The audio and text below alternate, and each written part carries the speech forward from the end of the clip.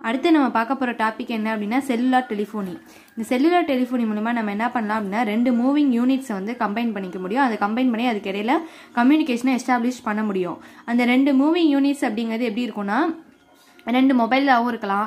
இல்லை ஒரு மொபைல் ஒரு சிஸ்டம் இப்படி இருக்கலாம். ஸோ வந்து ஏதோ ரெண்டு யூனிட்டை வந்து நம்ம கனெக்ட் பண்ணி அதுக்கு இடையில கம்யூனிகேஷனை எஸ்டாப்ளிஷ் பண்ண போகிறோம் இது எது மூலயமா பண்ண போகிறோம் அப்படின்னா சர்வீஸ் ப்ரொவைடர் மூலயமா தான் பண்ண போகிறோம் இந்த சர்வீஸ் ப்ரொவைடர் எதுக்காக அப்படின்னா அதோட லொக்கேஷன் எங்கே இருக்குது அப்படின்னு தெரிஞ்சுக்கிறதுக்காகவும் அதை ட்ராக் பண்ணுறதுக்கு அதுக்கப்புறம் கால் ஏதாவது வந்துச்சு அப்படின்னா அந்த அதை வந்து அந்த சேனலுக்கு வந்து அசைன் பண்ணுறதுக்கு அதுக்கப்புறம் ஒரு சேனல்லேருந்து இன்னொரு சேனலுக்கு வந்து ட்ரான்ஸ்ஃபர் பண்ணுறதுக்கு இதுக்காகலாம் நம்ம வந்து இந்த சர்வீஸ் ப்ரொவைடரை யூஸ் பண்ணுறோம் ஸோ இந்த செல்லுலாரை பொறுத்த வரைக்கும் ஒவ்வொரு ஏரியாவையும் நம்ம என்னென்னா ஒவ்வொரு செல்லாக நம்ம வந்து பிரிச்சிருக்கோம். இப்போ செல்லர் சிஸ்டம் அப்படிங்கிறது இதுதான். இப்போது பார்த்தோம் அப்படின்னா ஒரு பேஸ் ஸ்டேஷன் இருக்கும். அந்த பேஸ் ஸ்டேஷன்லேருந்து நிறைய மொபைல் ஸ்டேஷன் நம்ம வந்து கனெக்ட் பண்ணி வச்சுருப்போம். ஓகே இப்போ நம்ம எல்லாருமே மொபைல்ஸ் யூஸ் பண்ணுறோம்ல அதுதான் மொபைல் ஸ்டேஷனும் வச்சுக்கலாம். பேஸ் ஸ்டேஷன் அப்படிங்கிற நம்ம ஒரு டவர்லேருந்து கனெக்ட் ஆகிருப்போம் இல்லையா? ஸோ அதுதான் என்னென்னா பேஸ் ஸ்டேஷன் அப்படிங்கிறது. இதை வந்து எதோட கனெக்ட் பண்ணியிருப்போம் அப்படின்னா இந்த எம்எஸ்சி அப்படின்னு சொல்லக்கூடிய மொபைல் ஸ்விட்சிங் சென்டரோட கனெக்ட் பண்ணியிருப்போம் அந்த மொபைல் ஸ்விட்சிங் சென்டரில் மிச்ச செல்ஸ்லாமும் கனெக்ட் ஆகிருக்கும் அப்படி இல்லைன்னா நம்ம ஸ்டேஷனரி ஃபோனோட பிஎஸ்டிஎன் பப்ளிக் ஸ்விட்ச் டெலிஃபோன் நெட்வொர்க் அப்படின்னு சொல்லக்கூடிய அந்த லேண்ட்லைன் ஃபோன்ஸ்லாம் இருக்கும் இல்லையா? ஸோ அதுக்காக யூஸ் பண்ணக்கூடிய அந்த பிஎஸ்டிஎனோட கனெக்ட் பண்ணியிருப்போம் ஸோ நம்ம வந்து என்ன பண்ணலாம்னா ஸ்டேஷனரி ஃபோனை நம்ம இந்த பிஎஸ்டிஎன் அண்ட் எம்எஸ்சி மூலயமா அந்த பேஸ் ஸ்டேஷனோட கனெக்ட் பண்ணி நம்மளால என்ன பண்ண முடியும் அப்படின்னா யூஸ் பண்ணிக்க முடியும். இதோட ரேடியஸ் எவ்வளோ இருக்கும்னு பார்த்தோன்னா ஒன்லேருந்து டுவெல் எம்ஐ தான் இருந்து இதோட ரேடியஸ் இருக்கும்.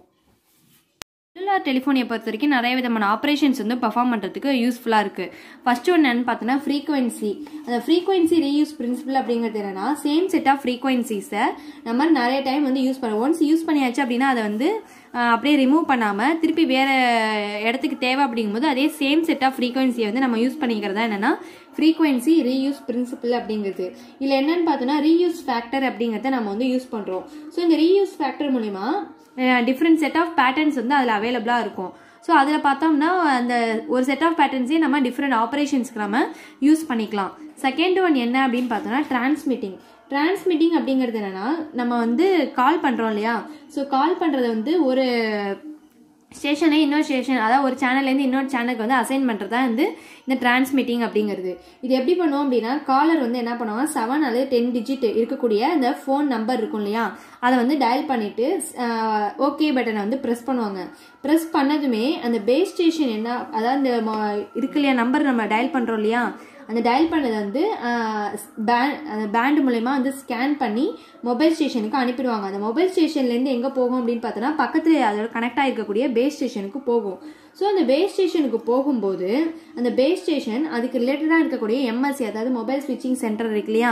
ஸோ அதில் வந்து கனெக்ட் பண்ணும். அந்த எம்எஸ்சி என்ன பண்ணும் அப்படின்னா அந்த டெலிஃபோன் சென்ட்ரல் ஆஃபீஸ்க்கு வந்து அதை ட்ரான்ஸ்ஃபர் பண்ணி விட்டுரும். ட்ரான்ஸ்ஃபர் பண்ணாதோ இஃப் சப்போஸ் அந்த காலர் வந்து அவைலபிளாக இருக்காங்க. அந்த யாருக்கு நம்ம கால் பண்ணியிருக்கோமோ அவங்க அவைலபிளாக இருக்காங்க அப்படின்னா அந்த கனெக்ஷன் திருப்பி வந்து எம்எஸ்சிக்கு வந்து எம்எஸ்சிலேருந்து பேஸ் ஸ்டேஷன் பேஸ் ஸ்டேஷன்லேருந்து அகைன் மொபைல் ஸ்டேஷனுக்கு வந்து வந்துடும் அப்போ வரும்போது அந்த இடத்துல திருப்பி ரிட்டர்ன் வருது? ரிட்டர்ன் வரும்போது என்ன? கனெக்ஷன் வந்து எஸ்டாப்ளிஷ் ஆகிடும் ஸோ எஸ்டாப்ளிஷ் ஆகும்போது நம்ம என்ன பண்ணிக்கலாம் அப்படின்னா ஒருத்தருக்கு ஒருத்தர் பேசிக்க முடியும்.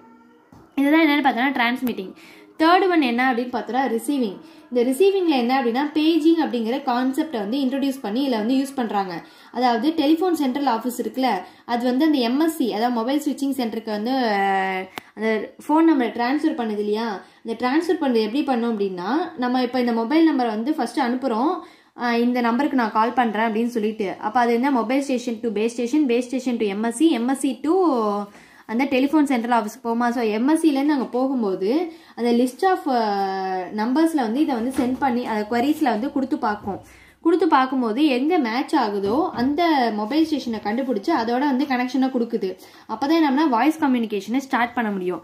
இந்த கான்செப்ட்டுக்கு பேர் என்ன அப்படின்னா பேஜிங் அப்படின்ட்டு நம்ம சொல்கிறோம் அடுத்தது என்ன ஆப்ரேஷன் பார்க்க போகிறோம் அப்படின்னா ஹேண்ட் ஆஃப் அப்படிங்கிற ஆப்ரேஷன் ஸோ இந்த ஹேண்ட் ஆஃப் ஆப்ரேஷன் எதுக்கு யூஸ் பண்ணுறோம் அப்படின்னு பார்த்தோம்னா கான்வர்சேஷன் போது தான் இதை வந்து யூஸ் பண்ணுறோம் அதாவது மொபைல் ஸ்டேஷன் வந்து ஒரு செல்லுலேருந்து இன்னொரு செல்லுக்கு வந்து மூவ் ஆகிட்டே இருக்கும்.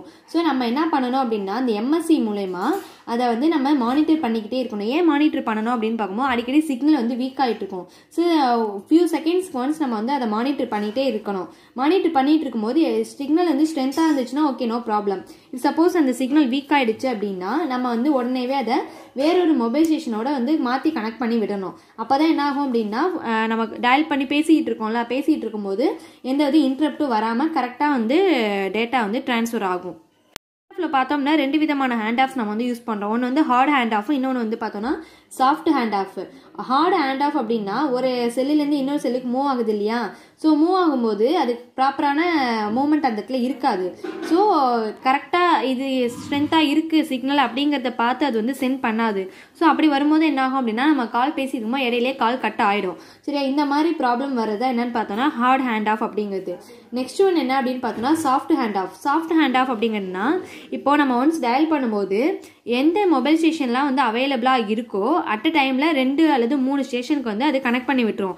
அப்படி கனெக்ட் பண்ணி விடும்போது ஒன்று வீக்கானாலும் என்ன ஆகுனா இன்னொன்று மூலியமாக நமக்கு வந்து எந்த வித பிரேக்கும் இல்லாமல் ப்ரா நம்மளால் க கண்டினியூஸாக பேசிகிட்டு இருக்க முடியும். ஸோ அந்த மாதிரி கொடுக்குறது என்னென்னு பார்த்தோன்னா சாஃப்ட் ஹேண்ட் ஆஃப் ஸோ இந்த ஹேண்ட் ஆஃபை பொறுத்த வரைக்கும் ரெண்டு விதமாக நம்ம வந்து பிரிச்சிருக்கோம்.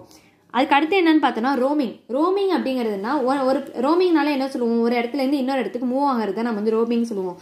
ஸோ இப்போ வந்து நம்ம எந்த இடத்துக்கு மூவ் ஆனாலுமே அந்த இடத்துல கம்யூனிகேஷன் அப்படிங்கிறது வந்து ரீச் ஆகணும். அந்த கவரேஜ் ஏரியாவுக்குள்ளே வரணும். ஸோ என்ன பண்ணியிருப்பாங்க அப்படின்னா குறிப்பிட்ட ஏரியா வந்து இப்போ மொபைல் ஸ்டேஷன் நாலஞ்சு இருக்குன்னா அது சேர்த்து ஒரு பேஸ் ஸ்டேஷன் சொல்கிறோம் இல்லையா? அப்போ அந்த பேஸ் ஸ்டேஷன்ஸையும் நம்ம எல்லாத்தையுமே வந்து கனெக்ட் பண்ணி வைக்கணும். அப்போ தான் என்னென்னா அந்த ஒரு மொபைல் வந்து ஒரு இடத்துல இன்னொரு இடத்துக்கு மூவ் ஆகும்போது அந்த பேஸ் ஸ்டேஷனோட ஈஸியாக கனெக்ட் ஆகி அவங்களால வந்து கம்யூனிகேட் பண்ண முடியும். ஸோ இதுக்காக தான் வந்து நம்ம இந்த ரோமிங் கான்செப்டை யூஸ் பண்ணுறோம் இந்த ரோமிங் கான்செப்ட் வந்து ஒரு டிஸ்ட்ரிக்ட்லேருந்து இன்னொரு டிஸ்ட்ரிக்கு அப்படின்ற மாதிரி சின்ன ஏரியா இல்லாமல் ஒரு கண்ட்ரிலேருந்து இன்னொரு கண்ட்ரிக்கு போகும்போதும் கூட நமக்கு அக்சஸ் பண்ணுறதுக்கு ஈஸியாக இருக்கணும் அப்படிங்கிறதுக்காக தான் இந்த ஆப்ரேஷனை வந்து இந்த செல்லுலார் டெலிஃபோன்லேயே இன்க்ளூட் பண்ணியிருக்காங்க. ஸோ இந்த ஆப்ரேஷன்ஸ் எல்லாத்தையுமே சேர்த்து ஓவராலாக பார்த்தோன்னா இத்தனை ஆப்ரேஷன்ஸ் இருக்கு இல்லையா? ஸோ இது எல்லாத்தையுமே சேர்த்து நம்ம வந்து அஞ்சு ஜென்ரேஷனாக நம்ம வந்து பிரிச்சிருக்கோம். ஸோ இந்த செலிஃபோ செல்லுலார் டெலிஃபோன் என்ன பண்ணியிருக்காங்க அப்படின்னா அதோட வளர்ச்சி அப்படிங்கிறது ஒரு அஞ்சு ஜென்ரேஷன் வயசு வந்து வந்திருக்கு. இப்போ நம்ம யூஸ் பண்ணிட்டு இருக்கிறது பார்த்தோன்னா ஃபோர்த் ஜென்ரேஷன் தான் யூஸ் பண்ணிட்டு இருக்கோம் ஸோ இந்த ஃபோர் ஜென்ரேஷனுக்கு அது எப்படி வந்து டெவலப் ஆயிருக்கு? அது ஒவ்வொரு ஜென்ரேஷன்லையும் என்னெல்லாம் கான்செப்ட் நம்ம வந்து யூஸ் பண்ணியிருக்கோம் அப்படிங்கிறத அடுத்து பார்க்க போகிறோம்